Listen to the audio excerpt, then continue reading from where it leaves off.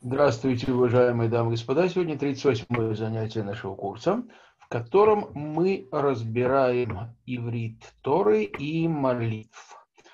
И вчера, в субботу, мы прочитали две недельные главы. Одна называется Харимот, другая называется Гдошим. Из этого довольно большого материала, поскольку все мы, конечно, разобрать не успеем.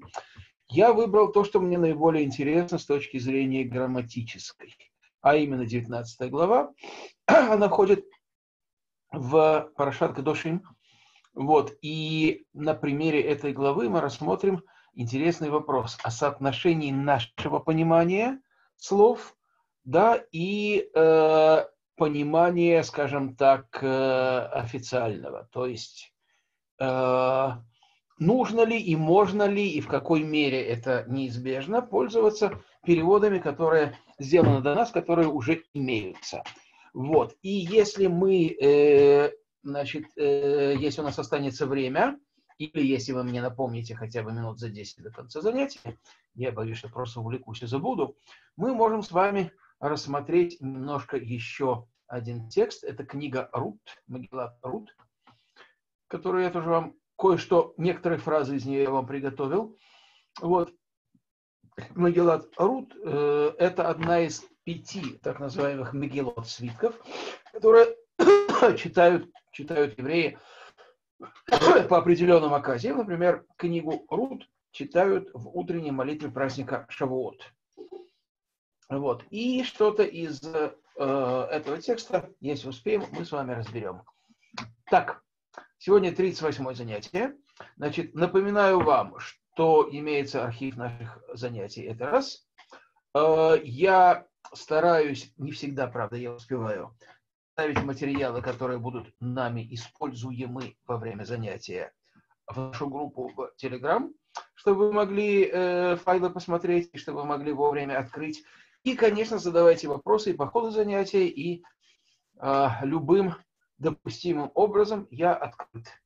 Итак, посмотрим текст. Вот в тексте 19 перека я выделил э, некоторые слова, которые я объясню вам э, просто из моего личного опыта, и некоторые слова, э, они выделены желтым, и некоторые слова, которые я выделил зеленым, значит, я поискал им э, объяснение в словаре, не всегда нашел, не всегда нашел, вот, и что нам с этим делать, мы сейчас с вами увидим. Итак, я читаю вам текст. Вот, по ходу задавайте вопросы. Вайдабер, Ашем, Эль Моше Леймор. Понятно, да? И сказал Всевышний Моисею следующее. Дабер Эль Коль Адат на Израиль, говори всему обществу сынов Израилевых. Ве Марта и скажешь им, Кадошим Тигью, святы будьте, ки кадош они Ашем Элокейхем. Ибо свят я, Бог всесильный ваш. Так? И еще раз напоминаю, что задача, э, которую я ставлю, это понять значение каждого слова. Так? Э, более широко можно посмотреть так. Соотнести это с тем переводом, который мы знаем, который мы можем посмотреть. Переводов много. Какие-то переводы лучше, какие-то хуже. Как правило, перевод преследует определенную цель. Вот перевод, которым я воспользовался. Ссылку я поставил вам в чат Э, значит, чем он мне удобен, я вам покажу. Дело в том, что здесь открываются комментарии. Комментарии Раши Рабейну Шломо Исхаки и комментарий Сончино. Тоже достаточно интересный. Я не объясняю вам, что означает слово «свят». Это не моя задача.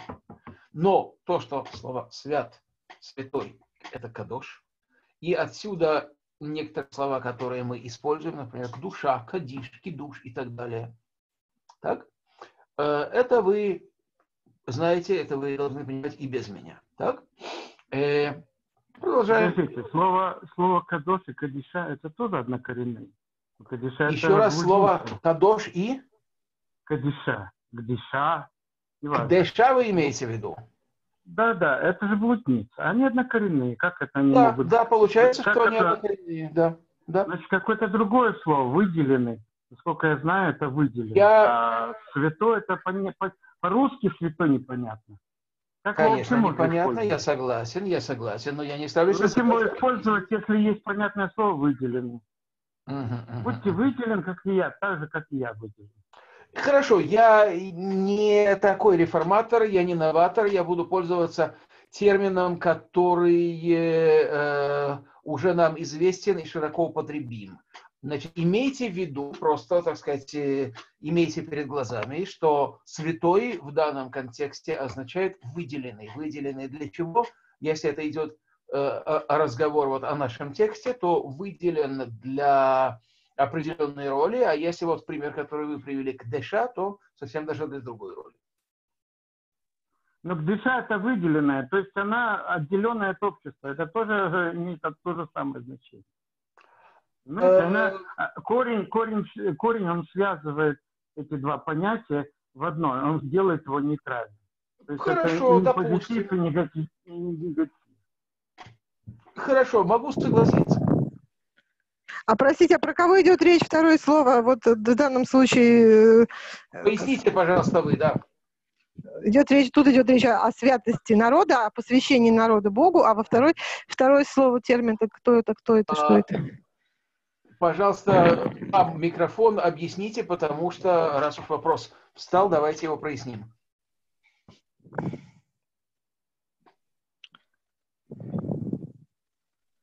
Ну, пожалуйста, милости просим. Кто, кто хочет? Я могу целый час на это тело говорить. Не-не-не, буквально я, пару я минут. Скажу, я имею второе, второе слово обозначает кого, кого речь бывает, идет о ком. Бывает гдыша, бывает зона. А, ну женщина, женщина, так сказать, легкого поведения. Это, бывает, как я бывает... знаю, храмовая, храмовая проститутка, которая посвящена как, всего, так, языч, языческим богам посвящена, посвящена была, поэтому она и тоже так далее. Это... Я знаю, что это языч... языческий лучший перевод, это не выделенный. Выделенный это плохой вот, перевод. Обособленный. Вот, нет, почему? Подожди, обособленный. Вот, нет, а, обособленный тоже очень хороший. Потому что обособленном два смысла сразу. Особый и выделенный, понимаете? Ага. Но я опять же, мы с вами сейчас не тем занимаемся. Для, для всех будет привычнее святой. Ну а как, мы же тут вроде вы словами занимаемся. Ну, Нет, мы подготовленные, поэтому я думаю, тут все, все знающие ну, да, люди. подготовленные. Вот когда, когда девушка сказала э, посвященная, вот это как раз есть. Ну, посвящ... лучше сказать посвященная, действительно. Посвящен... Да, посвященная лучше для всего. Так, вот, да. проституции, да, вот посвященная. Но она посвящена такому занятию, она тем более храмовая, то есть она какое-то божество, она какому-то божеству себя посвящала, поэтому так ее называли, посвященная. А вот здесь народ посвящен Богу в данном случае. Ну, все верно, значит, это слово нейтрально, она не, не имеет в виду, она иногда под позитивную коннотацию идет, иногда негативную. Да. То есть она да, согласен. Выходит так. Угу. Мне обособленно очень понравилось. Угу, угу. Так, э, господа, я ну, Давайте вовсе не ставлю цель подготовить перевод э, какой-то новый, принципиальный новый, который был бы универсален и который устраивал бы всех. Э, если в каком-то э, отдельном случае перевод э, предлагаемый меня совсем не устраивает, я просто как бы в скобках объясняю, э, что означает вот то или иное слово. Но э, все остальное выходит за рамки нашего курса, поэтому прошу придерживаться генеральной линии. Так, продолжаем. Ибо свет я. Иш и мова авив тирау. Вот обратите внимание на это слово. Человек, каждый человек. Имо – это мать его, а вив – это отец его. Тирау, а слово гир-а Ира – это страх. Ну, на самом деле, страх – это скорее пахад, а ира – это хороший перевод трепет. Но нам удобнее просто грамматически мать и мать свою и отца своего бойся, бойтесь. Да, множественное число. Ира. Э, можно перепутать это слово, но не нужно его перепутать со словом тиру, что значит увидите. Да? Там корень другой, там корень реш алеф эй. Веэт шаптутай тишморо. И субботы мои соблюдайте. Хотя мы можем перевести это не как и, а как а, то есть некое противопоставление. Ани Ашем Элокехем. Вот это идет рефреном. Я Всевышний Бог ваш. Аль тифну эль ха. Не обращайтесь к идолам. Слово элилим это как бы э, уменьшительное от эль. Словом эль алеф ламет мы обозначаем и нашего Всевышнего, это как сокращение слова Элоким. Вот. И вообще то, что другие народы и другие люди считают богами. Но эти элилим, ну, иногда удобно э, перевести как идолы, то есть некое материальное воплощение в глазах э, поклоняющегося сил природы, вот, либо обожествление каких-то сил природы, которые, как мы с вами знаем, да, все подчинены воле единого Всевышнего. Так? Слово тифну от слова поне. Что такое поне? Обращаться, поворачиваться. Да? Обращаться кому-то, к кому-то. Поне они, поне элейхем. Я сейчас обращаюсь к вам. Так? Велохей масеха. Обратите внимание, что вот это вот слово, как Элогим, да, только в смехуте, имеется в виду здесь не Всевышний, которого мы называем этим словом, да, а те боги, я ставлю это слово в кавычки, как их представляют другие народы. К примеру, к примеру, когда я читаю Тору э, в синагоге Всевышнего, значит, слово, обозначающее Всевышнего, я произношу, как оно написано через букву «гей», вот, если я просто называю его в разговоре, я вместо «гей» произношу «куф», да, «элоким». Имеется в виду, конечно же, Всевышний. Но это слово, оно не имеет святости, оно может читаться как есть. Э, есть специальное издание Торы для переписчиков. И в нем выделены слова, э, когда они имеют э, святое значение, то есть когда имеется в виду Всевышний, да, и когда он не имеется в виду, а слово это э, обозначает просто некоторый предмет. Так вот, здесь это не имя Всевышнего. Элокей Мацеха. Вот относительно этого слова. Словарь дает нам значение маска. Я э, говорю вам, что словарь в принципе неплох. Словарь я имею в виду Ирис, которым я пользуюсь, самый популярный, на мой взгляд. Вот, и он очень удобен и в общении. Но, конечно, он дает современный тезаурус. И некоторые слова э, специфически в него не входят, как мы видим, но удивительно, что многие слова таки да входят. И мы сейчас это тоже увидим. Так вот, слово «масыха» здесь переведено как «маска». Это и маска карнавальная, и маска, которую мы носим э, для защиты от вируса, да, и маска, например, э, противогаза тоже. Так? Э, но перевод, который я вам показал, вот, например, такой, показывает нам божеств литых. Вот мне это немного странно. И разобраться с этим я не могу. Комментарий, который здесь открывается, да, ничего не проясняет по этому вопросу. Я считаю, я бы считал, что здесь слово масыха означает как раз не литье, а что-то типа ковки. То есть берется металл, расплющивается, ему придается определенная форма, да, получается некая, э, некая скульптура полая внутри, пустая внутри. Да? Потому что при литье, наоборот, получается форма, заполненная материей, материалом, веществом, например, металлом. Да? Тем не менее, смысл от этого не меняется. Понятно, что Всевышний нам, что именно Всевышний нам запрещает. Продолжаем. Лота Сулахем и так далее. Я не буду читать весь текст подряд. Я буду останавливаться на некоторых словах, иногда читая контекст. Боем зивхахем. Зевах – это зарезать жертву. В день зарезания ваших жертв еахель. Еахель – это нифаль, это пассивный залог, то есть будет съедено. Что будет съедено жертва? Да, в тот день, когда она зарезана. Не потому что нет холодильника, а потому что таковы правила. Умимохорат. Обратите внимание, что здесь вот эти два, две голосовки звучат обе как О. Так, умимохорат. Что такое мохорат от слова махар? Махар это завтра. Мимохорат это начиная с завтрашнего дня. На завтра.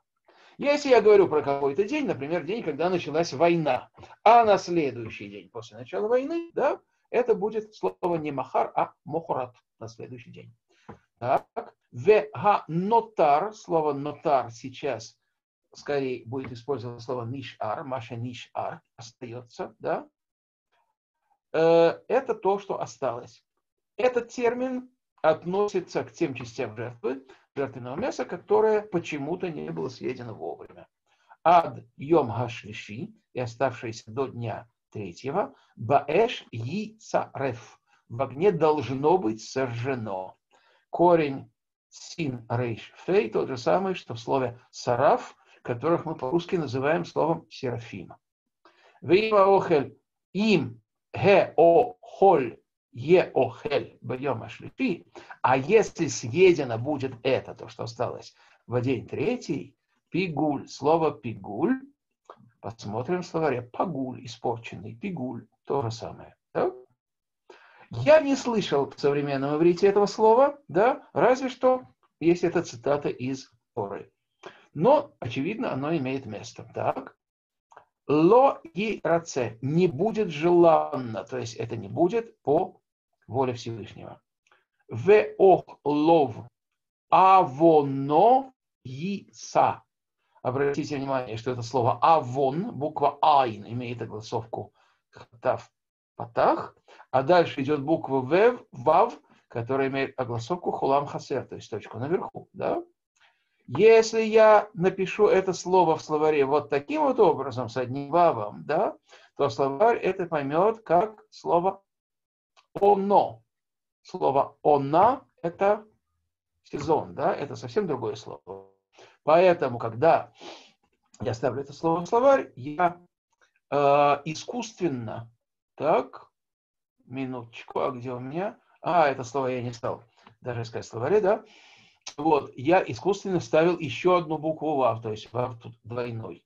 Так, а воно, угу, и СА он понесет. Гиса, но се, но о, понесет. Свой грех понесет он. Так? А вот это вот слово хилель, хилель, э, имеет несколько значений в современном иврите. Редко используется это значение, разве что выражение халалей а шоа. Жертвы, жертвы, имеется в виду убитые. Слово хилель, халаль дает словарь даже вот в этом выражении хилель шаббат – нарушить субботу. Да? Здесь что мы имеем? Хилель, да? Ки эт кдош ашем хилель, ибо святость Всевышнего нарушил он. В нихрета, здесь корень карет. Что такое карет не про нас с вами будет сказано? Это истребление из народа. Это наказание от высшего суда. В нихрета, исторгнуто будет, а нефеш аги. Душа это, слово нефеш женского рода, поэтому здесь мы читаем аги. Ме амеха из народа ее. Ув куцрехем. Корень здесь, вот он. Как говорится, бикицер, бикицур. Да? Что такое, что этот корень означает здесь? Жатва, жатва, жатва, например, пшеницы. Здравствуйте, рад вас видеть. Угу. Да, да, да. Рад приветствовать всех э, присоединившихся к нам с начала, с начала нашего урока. Вы не, не, не, не опоздали. Э, присы, э, впрягайтесь в работу. Да? Ув куц рехем и при жатве вашей лекацер. Так? Эт кцир, вот она, жатва. Арцехем земли вашей, ло техале пеа. Техале, кто знает от какого корня? От корня коль, то есть все, да? Не заканчивай совсем, не завершай полностью, чтобы что-то осталось, да? А теперь слово ПА, которое я тоже не стал переводить. Вот, э, тот, кто знаком с нашей традицией, знает замечательное слово какое? Пеот. Что такое пеот? Ну, пейсы, пейсы, пейсы, да, волосы на края, по краям этого самого. Традиция это пейсы, да, потому что так читается это вот в ашкенадском чтении, да. Но здесь слово ПА в прямом значении означает край. Что такое край? Это одна из заповедей, а вот вторая заповедь, а всего их три. Есть лекет, вот она. Лекет – это сбор отдельных упавших колосьев. Есть ТА, кто, э, это, то, это край поля, который земледелец не сжинает, а оставляет бедняку. И есть третья заповедь, которая называется как? Здесь она не упомянута. это вот то, что делаете вы сейчас. Она называется шикиха, от слова забыть. Да? Я надеюсь, вы это знаете просто. Ну, хорошо, будем считать, что вы просто стесняетесь мне подсказать. Шихиха – это сноп, забытый на поле. Значит, э, тот из нас всех, кто занимается сельским хозяйством, да, на него эти заповеди распространяются, да. Э, значит, труд Муавия для того, чтобы прокормить себя и свою э, значит, родственницу, мать ее покойного мужа, которую звали Наоми, да, из этих трех э, вариантов э, для бедняка, трех способов, которые предоставляет Тора для бедняка, чтобы прокормиться, выбрала самый трудоемкий, а именно лекет. Вот он. Велекет кцерха, ло телакет. Тот же самый корень. Видите, лекет, да. Это значит подбирать, собирать. Это не должен делать э, сам земледелец. В чем заключается эта мецва? Ну, раз вы меня не спрашиваете, значит, вы знаете. Или вы стесняетесь, тогда посмотрите сами в комментариях. Есть куда обратиться, есть у кого спросить. В карха. Керем, что такое керем? Это виноградник. Ло те олель. Вот это слово мы посмотрим. Так, олель, ле олель. Видите, я даже некоторые слова выделил вот таким вот восклицательным знаком. Видите вам и текст, да? Да? Чтобы показать, что словарь нам может чего-то не дать. Либо он даст много значений, из которых мы не будем знать, какое выбрать, да, либо он даст значение приблизительное, например, Элокей Масыха переведет как богов литых, хотя я думаю, что это может быть что-то другое тоже, да. Вот, по, э, значит, Олель натворить что-то плохое. Это то, что нам дает э, словарь. Но комментарий, комментарий вот здесь, да, показывает нам немного другое значение. Не, э, не обирай до конца. Вот можете посмотреть, что означает это. Так? Хорошо. Следующее слово. Угу. Перед. Может быть, вам известно слово прат. Прати – частный, личный. Увифрат – в частности или в деталях. Парит – это, э, ну, как вам сказать, это э, часть ассортимента.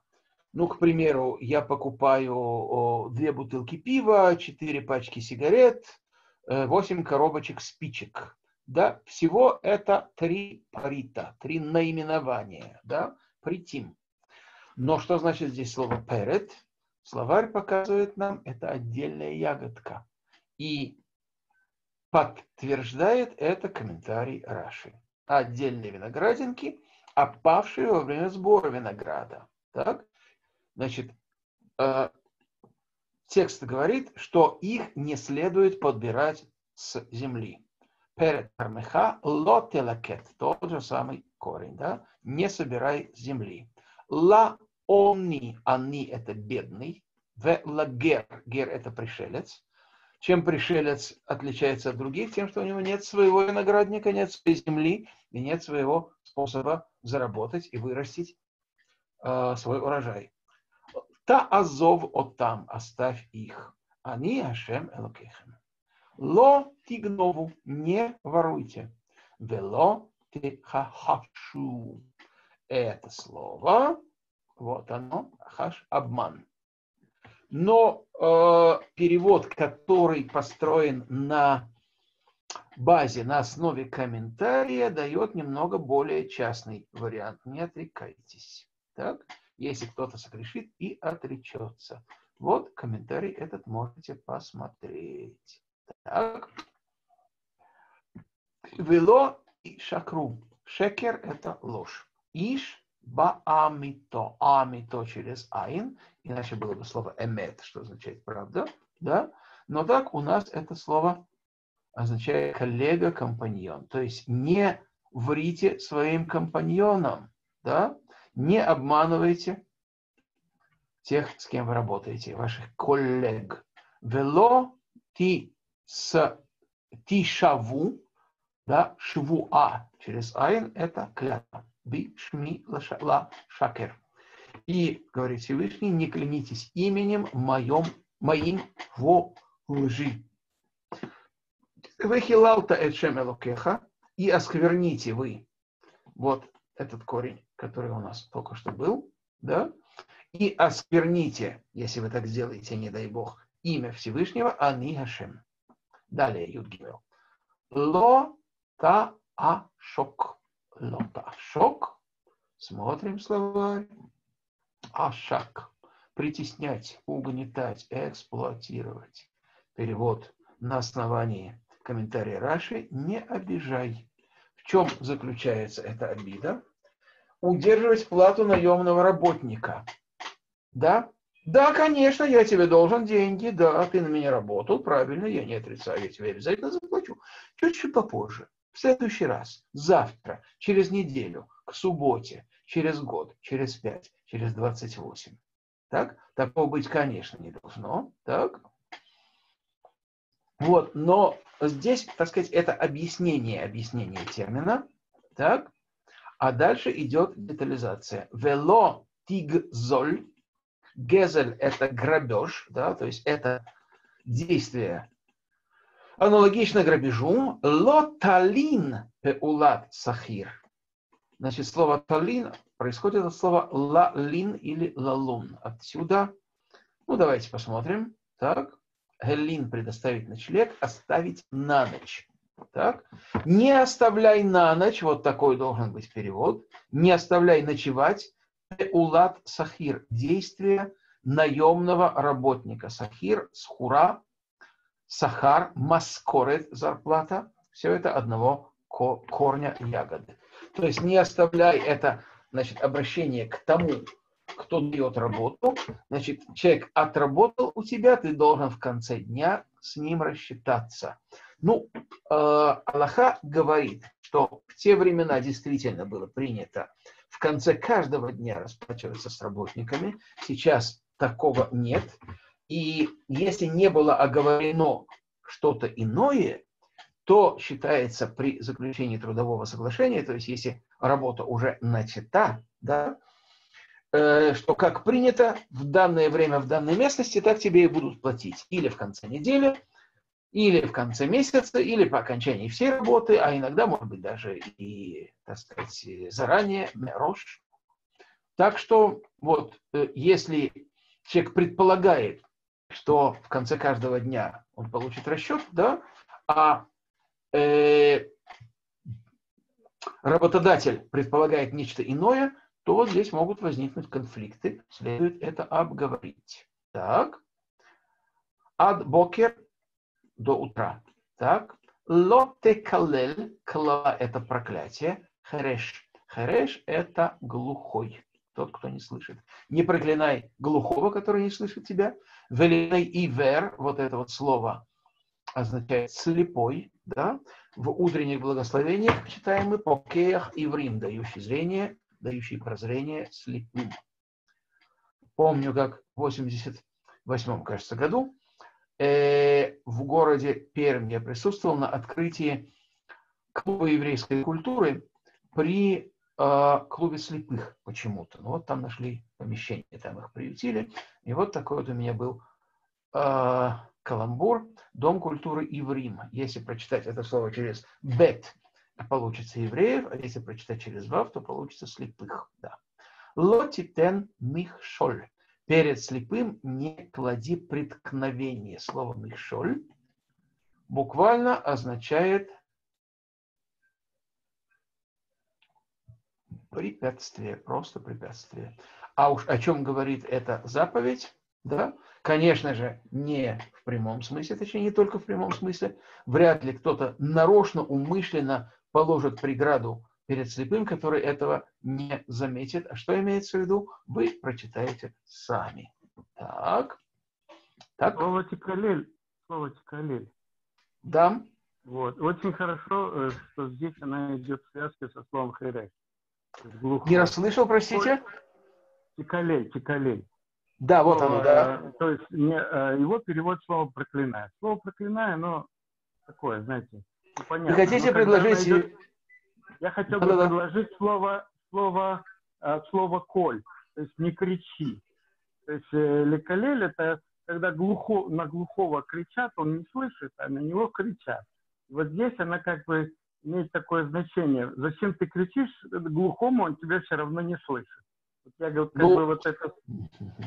Нет, здесь макалель не от слова голос, а от слова макалель – портить. Нет, слово коль, коль, это корень слова коль – голос. Поэтому э, я думаю, что именно оно и поэтому и дано в связке для слова херес. Я, это тот случай, когда я не могу ни подтвердить, ни опровергнуть. В любом случае, здесь корень куф ламет ламет, а с такими корнями происходит, у которых вторая и третья буква совпадает. Иногда бывает, что они сливаются, но прямого, э, прямой связи между словом калель, клала, порча, проклятие и коль, голос я не знаю. Я когда не отрицаю, может порча, быть, это и есть. Когда вы говорите порча, это понятное слово. А слово да. проклинать, оно непонятно. Э, возьмите, то есть ставить клин, то есть это само слово русское проклинать, она, у него корень слова клин, то есть делать клин. Какая связь со, со словом э, порча, например? Понимаете? Ну, если надо, я могу объяснить, что такое клала. Это противоположное благословению, браха это пожелание, которое попадает как бы в уши Всевышнего и на которое он может отреагировать. То есть если праведник, э, скажем, благословляет человека, он получает браха благословения, и это благословение сбывается. Но опять же, опять же, вы берете два русских слова, скажем, браха, да? Браха вы говорите благословение. Оно, слово благословение вообще не подходит слову браха, потому что слово браха имеет однокоренное слово с коленом. Колено берех и браха, а, они, а, они означают э, некую связь. То есть, э, когда э, функция колена заключается в том, чтобы связывать голень с лодыжкой, да? То есть ну, я слышал, кстати, я... Связь. Да. Это, Рам, я знаком с вашей... создает связь. Uh-huh, uh-huh. А, не, а не то, потому что благословение – там непонятно, то ли славение, то ли словение. Непонятное слово, она э, размазана, не конкретно. А э... хочется знать, что же, что же говорится конкретно об этом слове. Понятно. Вот. Э... Когда связываешь корень слова с коленом, тогда становится понятно, что, что оно означает. Спасибо, Авраам. Я хочу обратить внимание э, наших участников на новое лицо в наших рядах Абрам Малки, занимается очень интересной деятельностью. Э, вы можете пообщаться с ним лично, и он вам расскажет множество интересного. Я не во всем, далеко не во всем с ним солидарен. Э, тем не менее, я не считаю нужным сейчас выносить наши разногласия на обсуждение. Э, я э, хочу э, просто, ну, может быть, пару слов я скажу, что вот то, чем занимается Авраам и в чем он достиг определенных успехов, Авраам поправит меня, если я что-то неправильно Вы мне рекламу не делаете. Нет, ну почему же? Смотрите, я просто хочу сконцентрироваться, так сказать, на моей линии и показать, чем ваша линия отличается от моей. И те, кому будет интересно, я надеюсь, такие найдутся, да, могут просто с вами пообщаться вне рамок нашего курса. Значит, Авраам э, находит все возможные значения того или иного слова, иногда совершенно неожиданные, скажем так, на мой взгляд, вот, и пытается найти универсальное значение для каждого термина. Я считаю, что для той цели, которую я ставлю в моем курсе, это несколько излишне, это уведет нас в сторону. Тем не менее, э, значит, такой взгляд тоже имеет право на существование. В данном а, случае... Вы, вы вполне... знаете о моем взгляде, да? Ну, я, я лично знаю, да.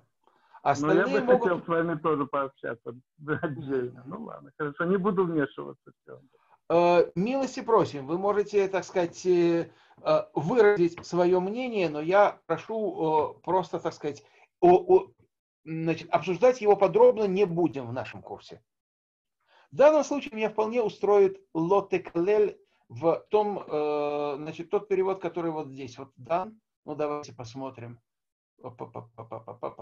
Какое, какая у нас Юда Далит? Это Сейчас я вам покажу. Угу, угу. Не злословь глухого. Да, угу. значит, я чуть-чуть по этому поводу хотел добавить, что в современном иврите очень часто слово «клала» используется в неправильном значении, в значении ругательства. Если один человек другого называет каким-то э, неприятным термином, да, э, ставящим под сомнение его, скажем, интеллектуальные способности. Это не называется клала, это называется милагаса, грубое слово. Клала – это буквально пожелание, пожелание чего-то плохого. Так. Итак, не проклинай или не злословь хареш глухого. Велифней ивер лот и шоль. Так. Вот слово ло таасу авель. Не делайте что? Авель, Авель, Авель. Зло злодеяние. Да? Просто не делайте, а давайте посмотрим, что нам дает не творите кривды в суде. Почему так? Угу, угу, угу. Да. Есть комментарий, который вы можете посмотреть по ссылке. Я почему-то его не выделил здесь. Ну, давайте дальше. Давайте дальше. Бамишпат, не делайте кривды в суде. Мишпат это суд. Ло и сапней даль. Даль это то же самое, что они, бедняка. Да? Ло тиса буквально не приподнимай, да? не делай его более высо, весомым на основании того, что он человек и так несчастный, и мы должны, так сказать, как это называется, внести коррекцию. Раз он бедный, так он прав. Нет. Тем более не следует э, руководствуйтесь тем, что раз он богатый, то прав. Да? Истина должна быть истинной, как мы видим дальше.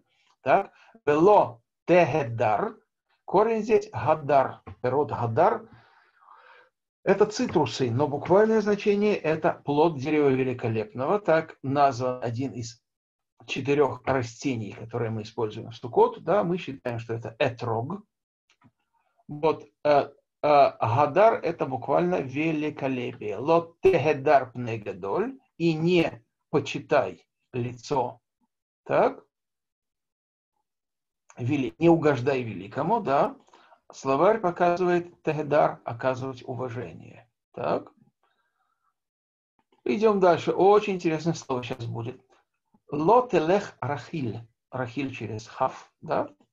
Это значит сплетник есть лашон гора и рахилут. Чем они отличаются? Лашон гора, когда первый говорит второму что-то плохое про третьего, это лашон гора, дурной язык, злоязычие, а когда этот третий идет и рассказывает второму, что рассказал, что сказал о нем первый, это уже называется рахилут. Но в более широком смысле Сплетник – это тот, кто собирает плохие сведения с тем, чтобы обмениваться ими, чтобы рассказывать об этом другим. Да? Очевидно, получая от этого некое удовлетворение. Так.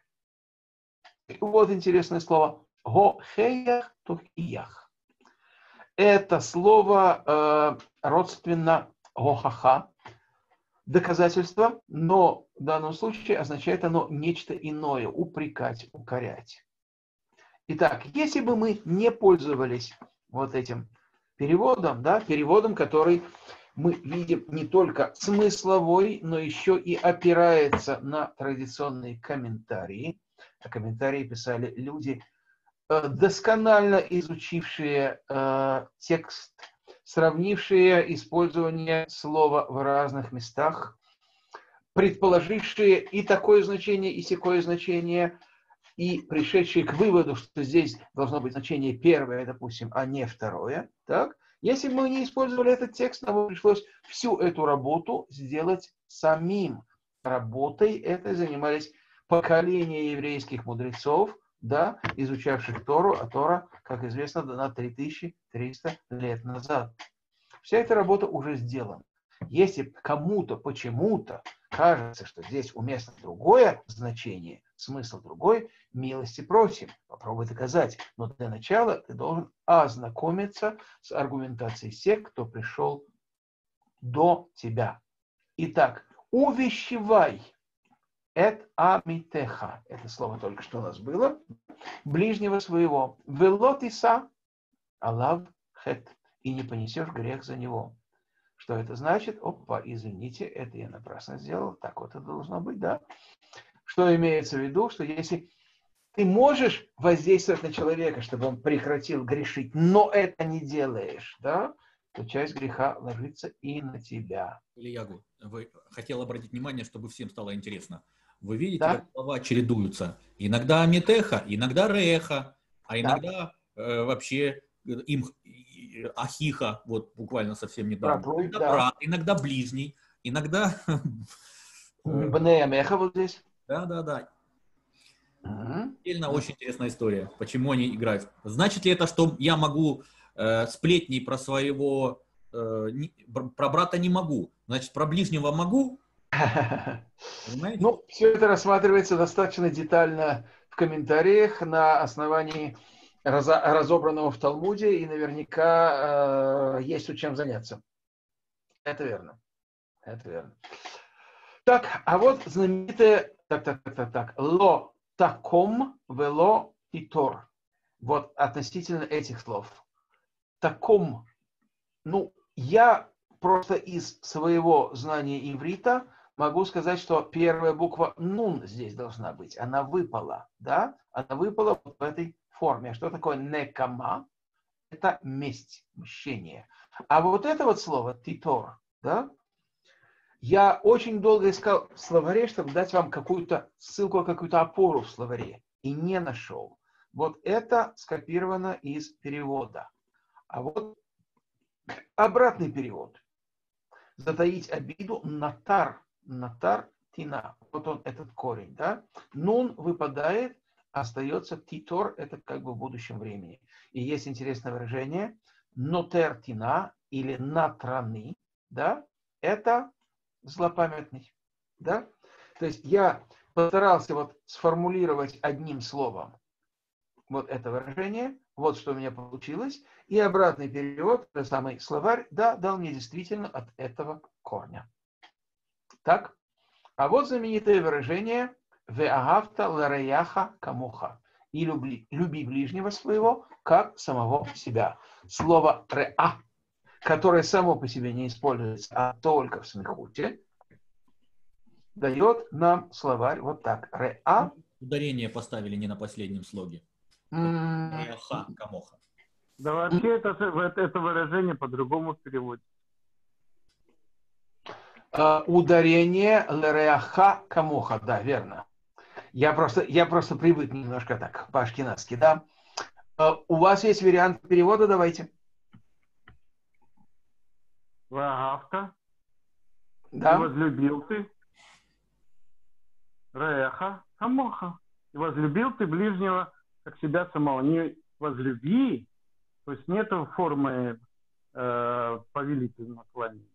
Это, конечно, не повелительное наклонение, но извините, ну. агавта – это прошедшее время, а агавта – это будущее время, и ты будешь любить, если быть точным. Но что имеется в виду, когда говорится о ближнем? Вы э, имеете в виду... Я не понял вопроса. Вы, вы имеете в виду человека, да? Реаха? Да, человека. Ну, то тот, который ближний. Реха, да, это еще одно коренное со словом э, злой, так сказать, тот, кто рядом. Ну, я не уверен, что это тот но слово, слово злое, оно вообще в Торе как бы не очень подходит. Если тов раз, то тов это Вы ошибаетесь, хорошо, а, Вы а очень ошибаетесь. Хорошо, ладно. Я, а почему я вы говорю пастуха, про, пастуха не видите? Том, что рядом, ближе. Авраам, вас плоховато слышно. У вас что-то с микрофоном. Ну, очень... Пастух, пастух прекрасно...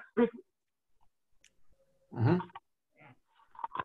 Очень глухой звук получается. Посмотрите, если есть возможность у вас заменить микрофон, это было бы кстати. Сказать, э. То есть это, э, это оно связано с этим. Но тут Сейчас в данном случае это ближний. Да, да. Сейчас, смотрите, ближний, да?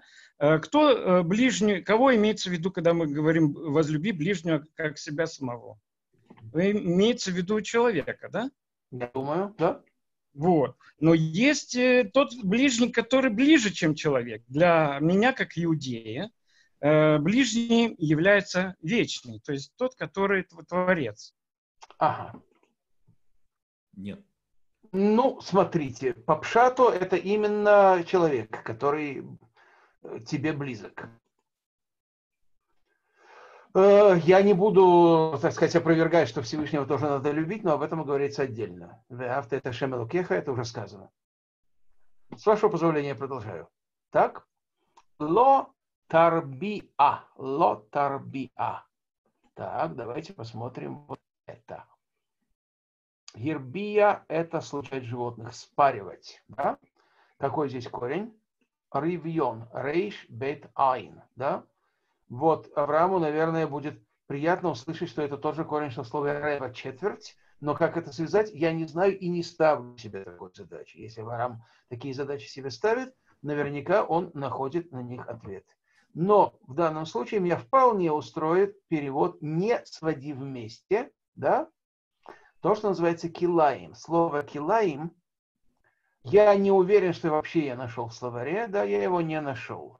Слово килаим можно перевести как запрещенные смеси, то есть то, что Всевышний в своем мире разделил, например, мясное и молочное, например, э, материя, нитки, э, э, шерсть и лен, то есть животного происхождения и растительного происхождения, да, есть несколько примеров того, что нам запрещено смешивать то, что Всевышний а разделил. А Вот слово килаем разно, разнородный, разновидный, да, это нам дает вот этот перевод. Да?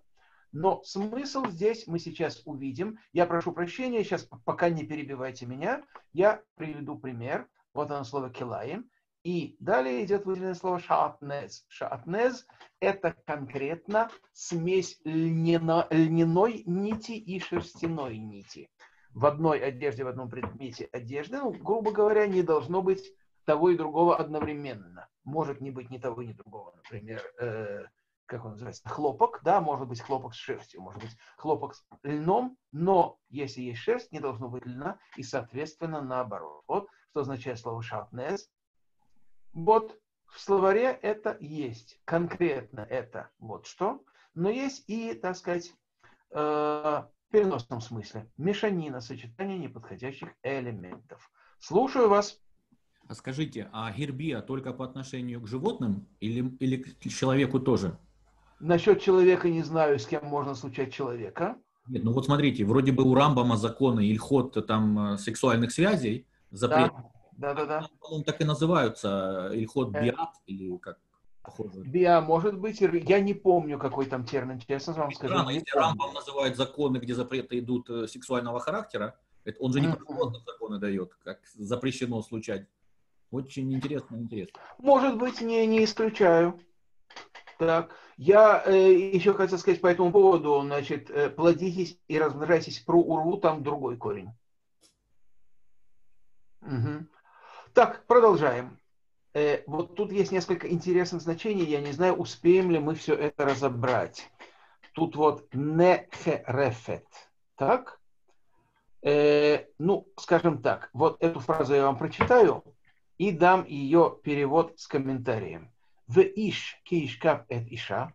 Человек, если он будет иметь связи половые с женщиной, шихват зера, с выделением семени, Веги шифха. Шифха это значит служанка. Нехерефет лаиш. Так, сейчас разберем, что это значит. В га ф де ло нифдета. Так, и что-то там, чего-то такого не произошло. Так, посмотрим, что нам дает перевод. Какой это посыл? Напомните мне, 20 да? Здесь сказано так. И если муж ляжет с женщиной со членами семьи, она рабыня мужу назначенная полностью не выкупленная или вольная не дана ей. Так? И вот эти значения я пробовал найти в словаре, получилось у меня, что я их просто не нашел. И последнее, значит, еще одно слово. Вот тут есть оно такое интересное, да? Хувша – это свободное. Лони тенла бикорет. Бикорет, бакара, бакар – это различать. Различать. Бикорет – это еще и проверка, это иногда в значении контроль как управление, дает нам... Э, куда я полез? Нет, я не это хотел открыть, я хотел открыть вот это. Да? Взыскание, вот это вот слово, на самом деле немножко нестандартно. Почему здесь переведено взыскание? Очевидно, по комментариям. По комментариям. Потому что непосредственно бикорет это э, так, это вот посещение, значит, да, посещение. Это значит выяснение, да, да, да. Так, одну минутку, есть, наверное, интересный чат. Прояснение это как утро, да, например. Э, Бокер совершенно утро, верно. Это есть прояснение, прояснение тьмы. Да, да, да. Но вот здесь, видите, другое значение используется. Вот, и эти значения мы через словарь найти не можем. Только вот, посмотревши в комментарии, либо попытавшись сломать голову самостоятельно. Вот. Потому что вот, вот оно, бакара, проверка, контроль, управление, вот оно. Так, Смотрим дальше. Так. Тут мы ничего сделать с этой фразой не можем, не зная ее, поним, ее понимания. Вот интересное слово. Унетатем, корень нун тет айн, отсюда еврейское имя знаменитое нета, но тея это сажать, сажать деревья, сажать саженцы, сажать растения. Вехи того эль когда ты придешь в землю и посадишь всякое дерево, коль эц, маахаль, маахаль, дающее съедобные плоды. Ва арал тем, слово орла, да, или орла, это и плоды трех лет после посадки дерева, которые нам запрещено есть. И еще орла это то, что э, удаляется при обрезании. Разве, да, Дмитрий, да? Разве после посадки или после первого плода, который вырос? Три года после посадки более конкретно, более конкретно, ну, мы, не, мы имеем право не запоминать, в какой именно день года мы посадили это дерево, потому что есть э, тубишват. Нет, я просто думал, что когда появилось первое яблоко, от этого начинает... А, нет, нет, от посадки. Да? И даже если вы взрослое дерево пересаживаете, то, соответственно, отсчитываете заново. Так. Вот слово гилулим от слова гиллель. Гиллель – это прославлять. Коль перье... Я, я хотел бы вернуться к слову орла. Да, вот. Пожалуйста. Я его, я его перевел как, с, э, как, э, как жесткий, не жесткий, а, а не, черствый, черствый, вот. Чер, черствый. Что это Если, нам даст? А когда говорится о черствых э, устах или о черством сердце, орла, там тоже используется слово в, в, в сочетании со словом э, сердце и со словом уста. Необрезанное сердце там обычно перевод. Смотрите, орла, здесь... да, то есть ну, черст, я понял. Я понял, я понял. О черствости здесь говорится в том примере, который вы привели, или какое-то другое качество, а не чуткости, так сказать, толстокожести.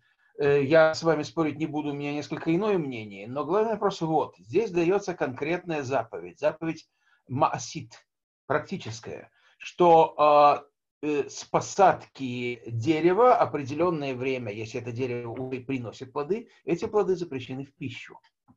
Если мы возьмем ваш перевод, то получится, что нельзя есть твердую пищу, а можно есть мягкую. Но это неверно, это не совпадает. Ну, со значением э, Салахой. Нет, черст, черствость. Не, не жесткая, а черствая.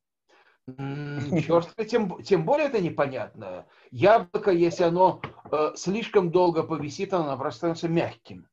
Оно начинает портиться и гнить. Черствым бывает хлеб. Хлеб черствеет, становится... Но вы же знаете, что первые плоды, обычно первые плоды, они э, жесткие все. Они, обычно. Э... А если это не так? А если у вас э, после посадки образовались плоды, они наоборот мягкие, по вашему э, объяснению никакого запрета нет. Но Аллаха говорит нам совсем другое. Это орла, и, и уже в силу того, что первые три года плоды называются орла.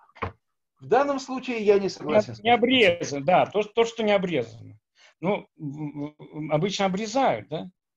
Что обрезают? Плоды? Ну, растения, растения обрезают. Растения обрезают, это совсем другая история. Растения то есть, то есть смотрите, эти Его... растения не обрезают, и они, э, то есть они не, а, мне кажется, все нормально. Их не обрезать. Дело не в, не в плодах, а дело в том, что растения не обрезают. Нет. Поэтому вот это черт. Запрещено когда... конкретно использовать плоды первых трех лет после посадки. Ну да, так да, это да. получается не три года, а немножко иначе. Но э, ими запрещено пользоваться вообще. Нельзя продавать ими, нельзя топить печку. Ну, под сомнением можно ими любоваться, но их надо оставить на дереве, чтобы они там испортились, чтобы их съели птички или они испортились сами на дереве. Вот о чем говорит нам это заповедь. Хорошо, может быть, она и неудачное слово, но э, другого слова как бы я и не нашел. Может, найду потом. Хорошо, что нам делать, если мы не можем одним словом перевести термин? Я предлагаю использовать этот термин, как он есть, или использовать устоявшийся термин, даже если он, по сути дела, неудачный. И, это и, про... и, и это право комментарии, что здесь имеется в виду то-то и то-то. Во-во, это вижу, правильно. Слово Если жесткий, перевести лучше здесь больше подходило, э, подходило более чем слово орла. Я видел перевод, например, самосевка, но это совсем не то. Все-таки, по-моему, ораль с фатаем это синоним кавет с фатаем. Кавет с винами тоже тяжелые устаны. А, Уста тяжелые, да. Ну, ну, тяжелые, в смысле не изящные. Это Муше про себя говорит. Это может быть на уровне как бы ну, не физического даже порока, а в принципе, что человек не может как бы ясно и красиво выражаться.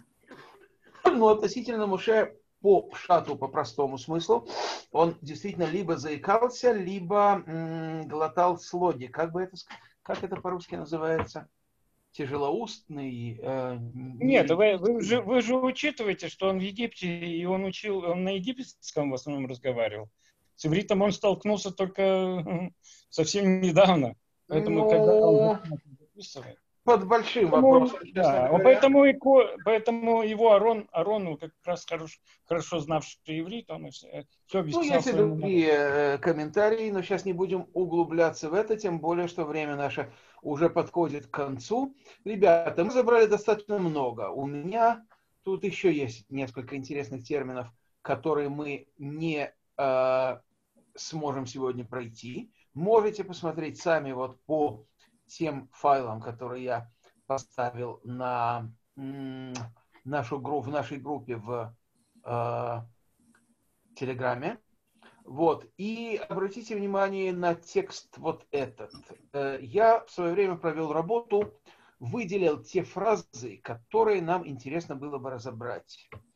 И, э, значит, в книге Рут всего четыре главы. Первая глава у меня идет целиком, и в ней я выделил все глаголы, ну просто ради интересу. Из второй главы я выделил несколько э, фраз не подряд. Это первая, вторая, третья, четвертая, пятая, шестая. Да нет, даже подряд. Вот, седьмая, восьмая, а потом сразу я пропускаю большой кусок, и еще три фразы у меня идут 21, 22, 23. Вот, Значит, они э, в большей или меньшей степени покрывают сюжет. Из третьей главы я взял всего три פסוק а. И из четвертой вот, вот такие. אלף בית, יוד אלף, יוד בית, יוד זין и כף בית. Вот. Э, значит, если мы будем успевать, и если будет к этому интерес, пожалуйста, э, маякните мне, мы можем э, немножко и вот этим текстом заняться. Так, а пока всем большое спасибо. Пожалуйста, если есть еще вопросы, пока мы на связи. И э, у меня один вопрос есть, честно говоря. Натан, да? Из всего, из всего пройденного э, я до сих пор как бы, ну и по-видимому, никогда не мог э, понять слово действительно реха. Реха с айном Да. Это, это, по, по пшату просто ну, это невозможно понять, действительно, каким образом слово, которое ближе всего похоже на э, зло, действительно, да. и реха, по идее, да. должно было быть с алифом, сто процентов. То есть человек, которого ты видишь на расстоянии видения. Но почему это написано с айном, совершенно не... Да. Как, как реха близкий, непонятно. А мы об этом в прошлом году в Иерусалиме очень подробно разговаривали, целых 40 минут. А ты в это время ну что? слушал где-то.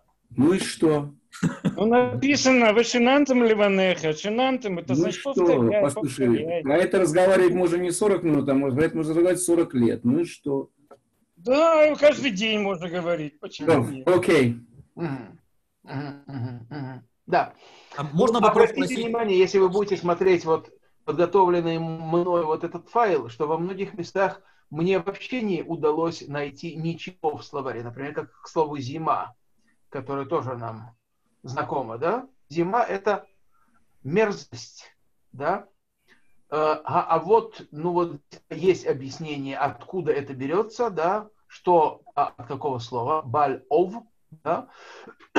И что оно значит? Га-еда ал-ним, ну явно корень йодея знать, но что имеется в виду, тоже вот здесь вот есть объяснение и так далее. Вот текст весьма интересный и весьма глубокий. Всем спасибо за внимание. Окей. Okay. Вопрос, у меня маленький вопрос. Вы Давайте. когда, Илья, когда э, смотрите слова, вы э, э все, э, однокорен... все эти слова, которые находите, да, вот, например, корень нашли какого-то слова, вы все проверяете, сколько раз написано и где это написано, в каких контекстах это слово встречается, потому что они в разных контекстах переводятся по-разному. Понимаю, я понимаю, что вы говорите. Угу, угу, угу. Но я не есть, когда, тебе... когда вы смотрите одно слово, в каких местах оно встречается, в каких контекстах.